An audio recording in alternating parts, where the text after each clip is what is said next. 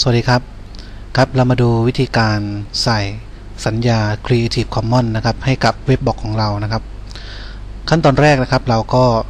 เข้านะครับไปที่เว็บไซต์ creativecommons.org ก่อนเลยนะครับ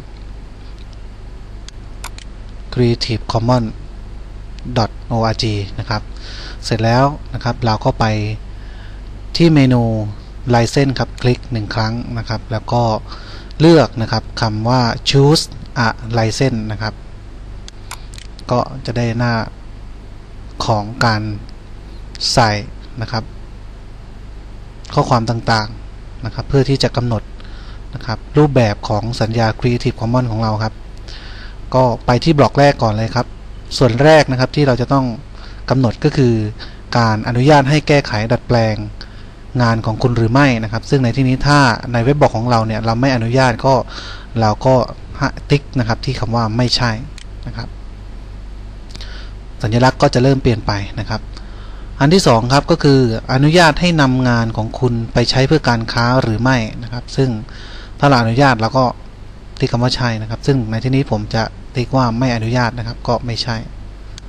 นะครับ ครับส่วนที่ 3 ก็คือรูปแบบของ การเลือกลายเส้นนะครับว่าจะเลือกลายเส้นแบบลายเส้นนี้จะใช้กับประเทศไหนนะครับ ซึ่งในที่นี้ผมเลือกทั้งเป็นแบบ international เลยครับนะครับ เลือกทั้งหมดสัญลักษณ์ก็จะขึ้นมาแบบนี้นะครับสัญลักษณ์ที่ใช้ก็จะมีเป็นรูปลักษณ์แบบนี้ ต่อไปครับส่วนที่เราจะต้องกำหนดส่วนต่อไปก็คือที่บล็อกนี้ครับ อันแรกก็คือชื่อผลงาน ครับชื่อผลงานอาจจะเป็นชื่อบทความหรือเป็นชื่อเรื่องบล็อกที่เราเขียนก็ได้ครับ ซึ่งในที่นี้ผมจะใส่เป็นชื่อของเว็บบล็อกผมเลยนะครับ ก็ใส่เรียนคอมพิวเตอร์กับTeacher นะครับอุทิศนะครับก็มันก็จะมาขึ้นในด้านขวามือให้เลยครับว่าเรียนคอมพิวเตอร์กับ Teacher อุทิศได้อนุญาตให้ใช้ ภายใต้สัญญาอนุญาตนะครับ ซึ่งช่องต่อไปครับที่เราจะใส่ก็คือ ชื่อที่จะให้ระบุถึงที่มานะครับ ก็ในที่นี้ผมก็จะใส่เป็นชื่อของผมเข้าไปนะครับ เนื่องจากว่าเว็บบล็อกนี้นะครับ ผมเป็นคนสร้างนะครับผมก็นายอุทิศนะครับ แจ้งถิ่นปะนะครับเห็นไหมครับด้านขวามือก็จะขึ้นมาว่า เป็นเรียนคอมพิวเตอร์กับ Teacher อุทิศโดยนายอุทิศแจ้งถิ่นปะเห็นไหมครับขึ้นมา ต่อไปครับ คำว่านายอุทิศเจนินป่าเนี่ยนะครับเราก็จะกำหนด URL ให้มันนะครับ โดยการมาใส่ที่ที่อยู่บนอินเทอร์เน็ตนะครับ เพื่อที่จะให้ผู้ที่เข้าไปเยี่ยมชมเว็บบล็อกของเราเนี่ยคลิกนะครับที่ชื่อของเราได้เลย ถ้าเขาจะติดต่อเราหรือว่าจะขออนุญาตใช้บทความของเรานะครับในด้านต่างๆ เราก็ใส่ชื่อเว็บบล็อกของเราเข้าไปครับ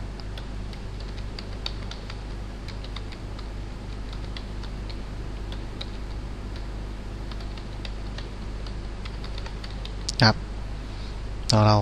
คลิกนะครับ ก็ชื่อของเราก็จะเป็นลิงก์นะครับ เพื่อที่จะคลิกไปที่เว็บบล็อกของเรานะครับ หรือเว็บไซต์ของเรานั่นเองนะครับ พอเราใส่ URL ตรงนี้เข้าไปนะครับ ต่อไปครับสมมุติว่าชื่อของเราเป็นเว็บบล็อกนะครับ ที่ช่องชื่อผลงานเนี่ยเราอาจจะใส่นะครับ ชื่อ URL ที่นี่ก็ได้นะครับ ที่เป็นต้นฉบับงานของเรานะครับ แล้วก็ มันก็จะเป็น URL ที่จะคลิกลิงก์ไปที่เว็บบล็อก ที่เป็นชื่อผลงานของเรานะครับ ส่วนต่อไปครับก็คือการกำหนดในส่วนของอรูปแบบของการทำงานนะครับ ซึ่งก็เราก็ลองคลิกเลือกดูครับว่าเว็บบล็อกของเรานั้นเป็นประเภทผลงานประเภทอะไรนะครับ อย่างเช่น เป็นประเภทเสียงเป็นวิดีโอเป็นภาพเป็นข้อความนะครับ ซึ่งในที่นี้เนี่ยของผมเนี่ยมันเป็นเว็บเว็บบล็อกนะครับ ผมก็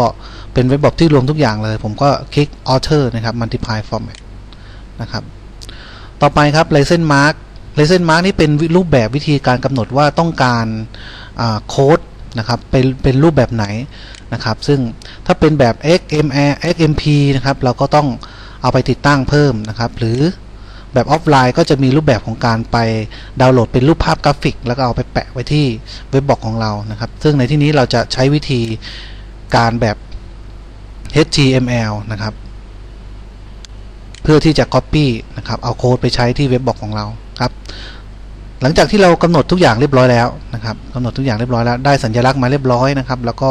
ได้โค้ดมาเรียบร้อยแล้วนะครับ ก็ให้เราเนี่ยครับทำการ copy code นะครับ ตรงนี้ไปซึ่ง จากข้างล่างครับก็ยังมีส่วนเลือกอยู่ 2 อันก็คือ normal icon กับ compact icon ถ้าเป็น compact icon icon ก็จะเป็นลักษณะแบบรูปเล็กลงมานิดนึงนะครับในที่นี้ผมจะเลือกเป็น normal icon นะครับ เพื่อให้ผู้เข้าเข้ามายม มาชม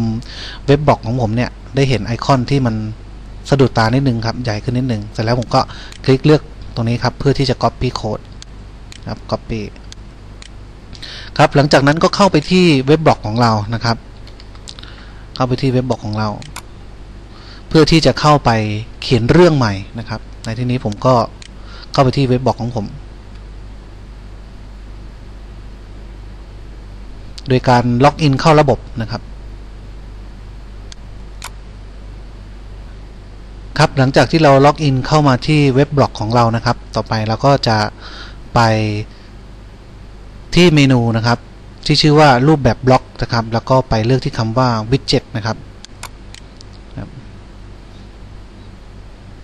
แล้วก็ให้เราไปหานะครับ widget ที่ชื่อว่าข้อความนะครับนะครับ เลือก widget ที่ชื่อข้อความนะครับ แล้วก็เอาไปใส่ใน side sidebar ของเรานะครับ หลังจากเราได้ widget ข้อความมาครับ เราก็มาใส่ที่ตรงช่องหัวข้อนะครับ ช่องหัวข้อแล้วก็นะครับโค้ดที่เราเอามาได้ก็เอามาวางที่ตรงในส่วนของช่องวางข้อความตรงนี้นะครับ เสร็จแล้วเราก็กดบันทึกนะครับ ก็จะได้สัญญา Creative Commons เป็นที่เรียบร้อยครับ ในเว็บบล็อกของเราก็จะเป็นเว็บบล็อกที่มีสัญญา Creative Commons นะครับ ต่อไปเวลาที่ มีผู้เข้ามาเยี่ยมชมเว็บบล็อกของเราแล้ว